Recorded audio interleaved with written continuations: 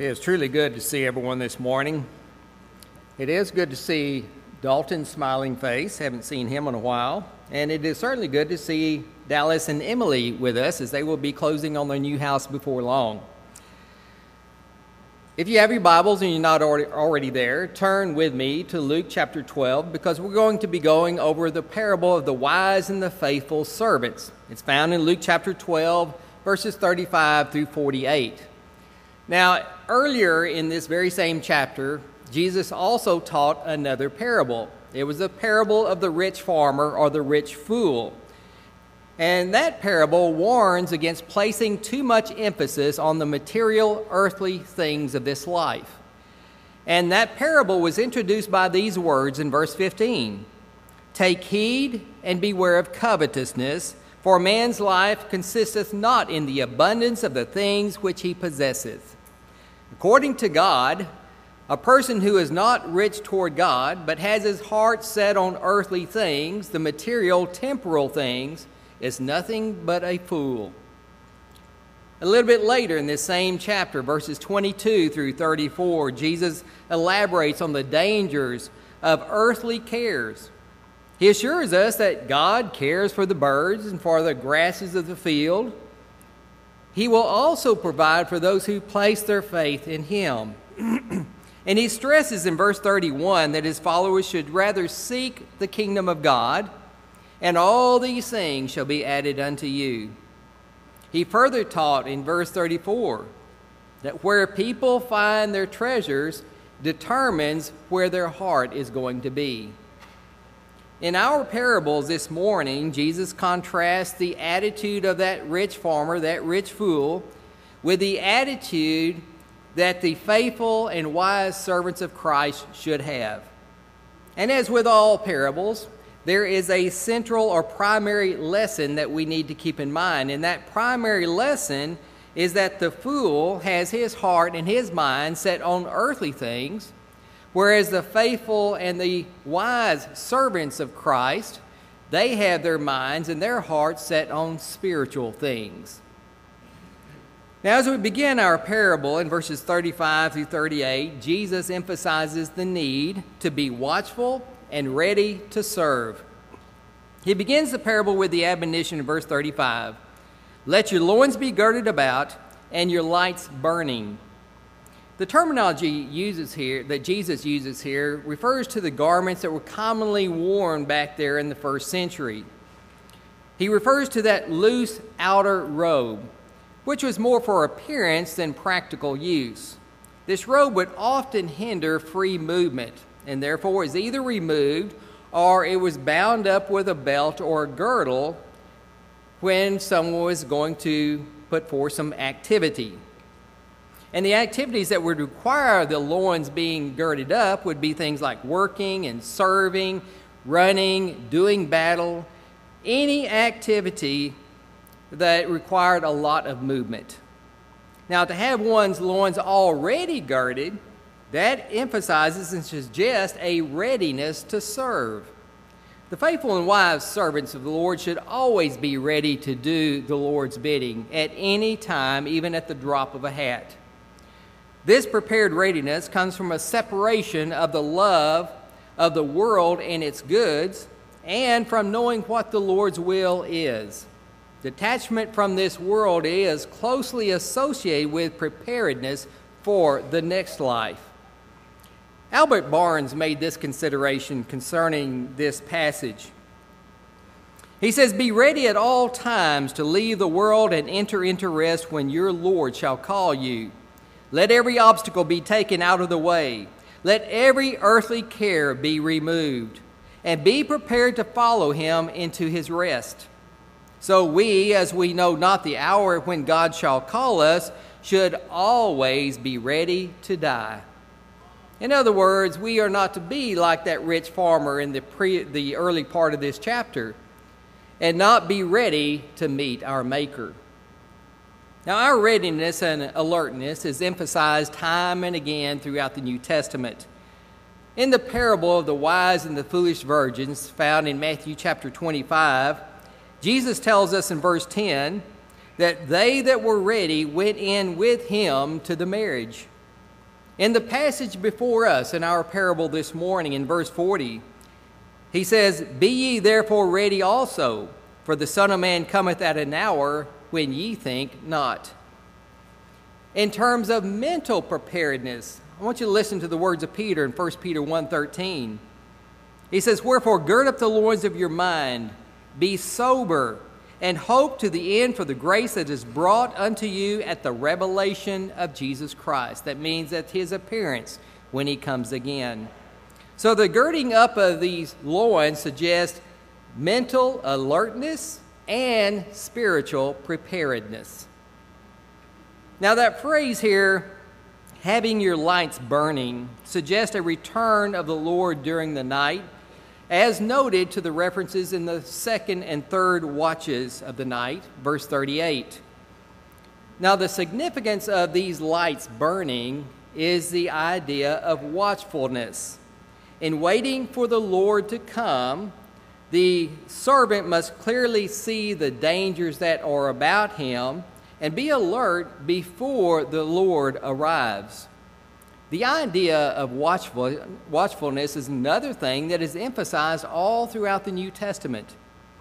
In fact, in Mark chapter 13, verses 34 through 37, Jesus said this concerning his second coming. He says, For the Son of Man is as a man taking a far journey, who left his house and gave authority to his servants, and to every man his work, and commanded the porter to watch. Watch ye therefore, for you know not when the master of the house cometh, at even, or at midnight, or at the cock crowing, or in the morning, lest coming suddenly find you sleeping. And what I say unto you, I say unto all, watch. Paul also gave an admonition in 1 Corinthians 16, verse 13 Watch ye, stand fast, quit you like men be strong. Also in 1 Thessalonians 5, verses 6 through 8, he gives a warning. Therefore, let us not sleep as do others, but let us watch and be sober. For they that sleep, sleep in the night, and they that be drunken are drunken in the night. But let us who are of the day be sober, putting on the breastplate of faith and love, and for an helmet, the hope of salvation. And these are just a few of the references to Christ's second coming and the watchfulness and the preparedness that we should have concerning that time and that day. You know, a message that is so often repeated throughout the, the Bible is recognized as something that is vitally important. Watch. Keep your lights burning because the Lord is going to come. Now, according to Jesus, faithful disciples are like men that wait for the Lord when he will return from the wedding, verse 36. Here is a reference to the wedding banquet, which is very typical of that day. And the custom was that this was going, he was going to come at an unannounced time, a time in which no one could really foretell and the bridegroom would come and claim his bride at her parents' house. And then he would take her to his own house. Whatever time that happened to be, and oftentimes it was very late in the night, the servants were, were expected to be ready for their return. The parallel between the spiritual servants of the Lord and the servants of the bridegroom, I think, is quite obvious here.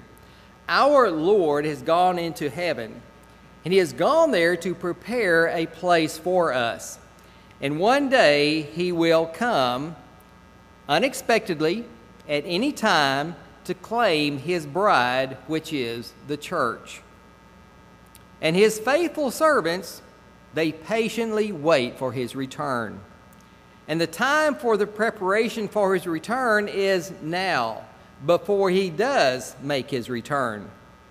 The statement in verse 36 that when he cometh and knocketh, they may open unto him immediately is a reference that when the groom does come and knocks, there's not going to be further time to prepare. So you have to be ready now, not later. Looking forward to the time of Jesus' return is a characteristic of his faithful servants. Paul, in referring to the loyalty and the devotion of Christians, said this in Philippians 3, verse 20 For our conversation is in heaven, from whence also we look for the Savior, our Lord Jesus Christ. And also in Hebrews 10 28, it says, So Christ was once offered to bear the sins of many, and unto them that look for him shall he appear the second time, without sin, unto salvation. Now, according to our parable, in verse 37, when the bridegroom arrives, it says, He shall gird himself and make them to sit down to meat, and will come forth and serve them. The idea here is when the Lord returns, the faithful and the wise servants will be given extraordinary blessings. The joys and the privileges and the blessings of heaven are certainly comprehended here in this statement. Salvation will be given to the faithful and the wise servants of Jesus Christ when he comes in judgment in the last day. Now, the possibility of the groom returning home in the second or third watch is mentioned right here in verse 38. And you think about the day back then. the day was divided into four different watches by the Romans. The second and the third watches were the night hours. This may suggest that the Lord's return may be a little bit longer than what some may think. And that delay is a test of our faithfulness. Now, the second coming of Christ is likened unto a thief who would break into a house. We see this in verses 39 and 40. The fact is that Jesus' coming is not going to be preceded by any signs or by any warnings. A thief does not go and announce to a, a person who owns a house if and when he's going to break into their house. And in this very sense, Jesus Christ will also come as a thief. Jesus here again advises constant, sleepless vigilance for the coming of the Lord. I want you to notice the similarity between the imagery used here in our parable and that used of the apostle Paul in 1 Thessalonians chapter 5 verses 2 through 4. He says, "For yourselves know perfectly that the day of the Lord so cometh as a thief in the night. For when they shall say peace and safety, then sudden destruction uh, destruction cometh upon them as travail upon a woman with a child, and they shall not escape. But ye, brethren, are not in darkness, that that day should overtake you as a thief. Now, the suddenness of Christ's coming ought to influence the way that we live day by day, knowing that it's going to be unannounced and that He will come suddenly we need to always be prepared for that very day. I want you to listen to the words of the apostle Peter in 2 Peter chapter 3 verses 10 and 11. He says, "But the day of the Lord will come as a thief in the night, in the which the heavens shall pass away with a great noise, and the elements shall melt with fervent heat. The earth and also and the works that are therein shall be burned up." Seeing then that all these things shall be dissolved, what manner of persons ought ye to be in all holy conversation and godliness? We are to be living right at all times, waiting for that day. Listen also to what Jesus told the church at Sardis in Revelation 3, verse 3. He says, Remember therefore how thou hast received and heard, and hold fast and repent.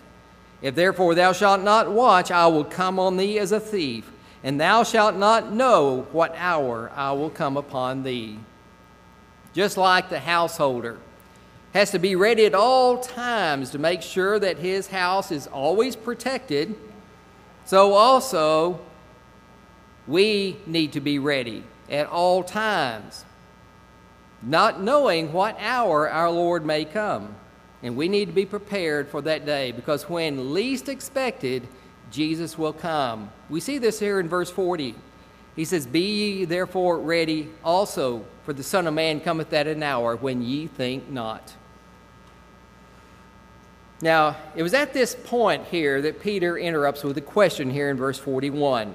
He said, Lord, that speakest thou this parable unto us, or even unto all? What Jesus has said here so far has really aroused Peter's uh, interest and his curiosity. Jesus has been speaking about those who would not be ready at his coming, but also, I'm sorry, he's talking about those who would be ready, but he's implying that some would also not be ready. From verse 22 on, the Master has been directing his attention to his disciples and not to the vast multitude.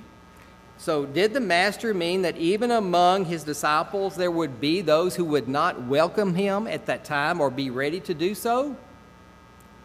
To whom was Jesus actually telling this parable about? Well, Jesus' answer is indirect, and it's in the form of a parable, verses 42 through 44. In essence, Jesus is telling him that it is the faithful and the wise servants who will be ready to welcome Jesus when he does come. His answer comes in a question Who then is that faithful and wise steward, whom his Lord shall make ruler over his household to give them their portion of meat in due season? Remember this Christians are stewards while in the service to Christ. And we have to understand, as stewards, nothing belongs to us. It all belongs to the master. And we are to use these things that have been left to our possession to be used in the interest of the master.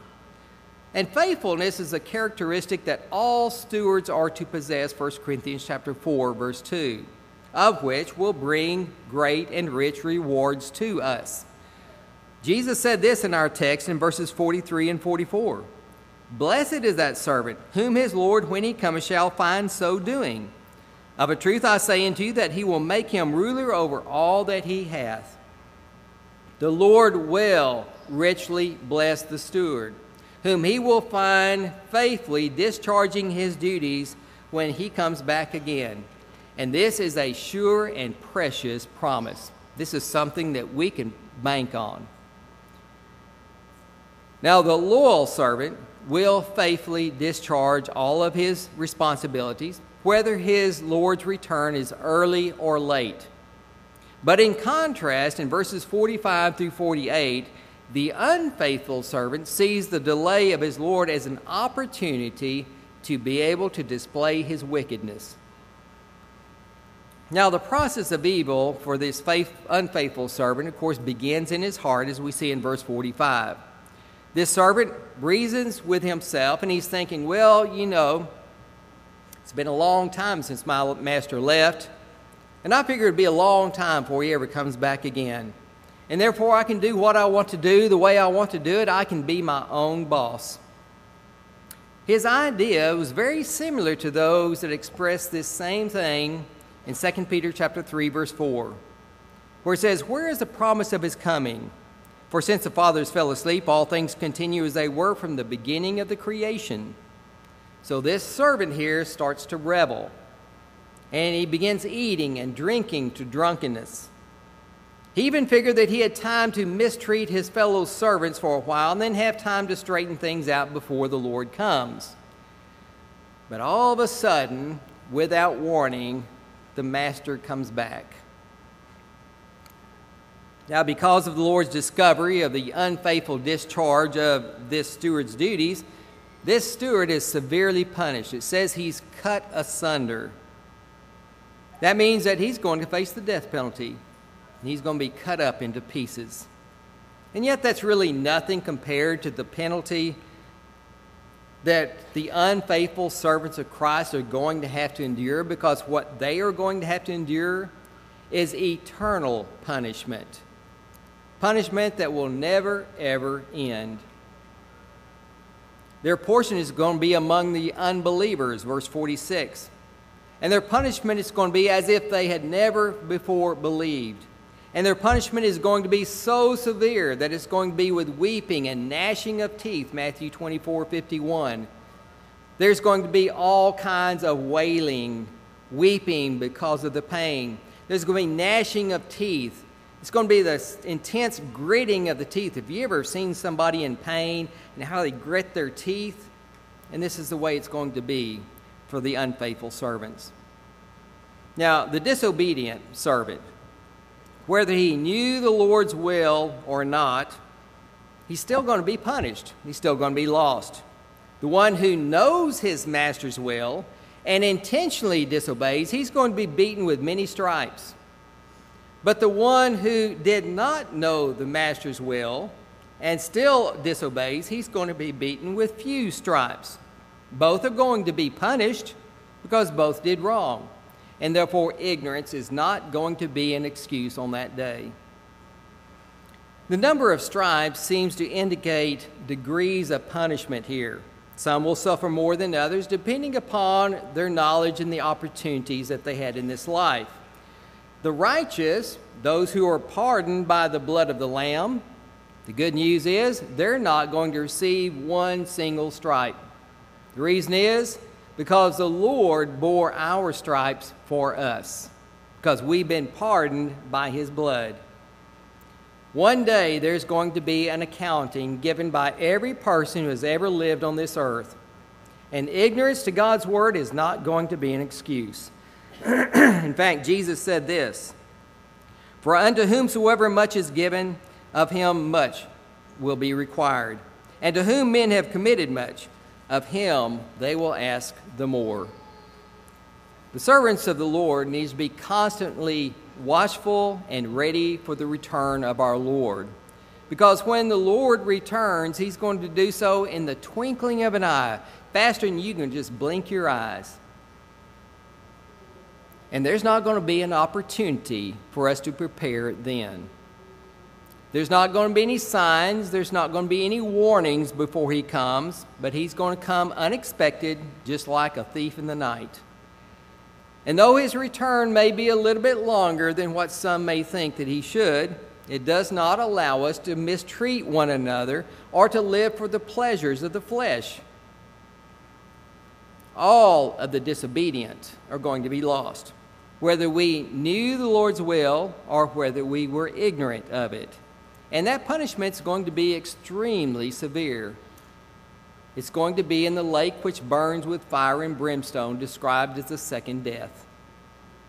So, my admonition to you is trust in the Lord and his, in His words, because He is coming, and one day we're going to have to give an account of what we did in this life. Don't be a fool. Live for Jesus today. Obey his will and be faithful unto death.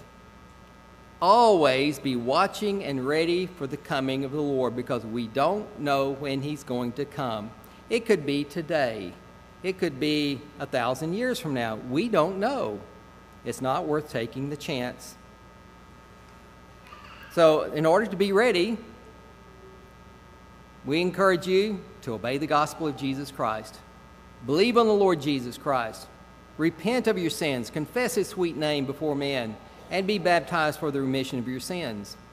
And when you do that, the Lord is faithful. He will add you to his church. Acts chapter 2, verse 47, the body of the saved. Now, if you are a child of God, you've already obeyed the gospel, then live faithful unto death so you can receive that crown of life that Jesus spoke of in Revelation chapter 2, verse 10. There is a great day coming and that day really depends on what it's going to be, how you live your life, what you've done in preparation for that day. It might be a bright day, it might be a sad day. Are you ready for that day? If you're not, let us help you be prepared. If there's anything that we can help you with this morning, we encourage you to respond to the invitation while together we stand and sing.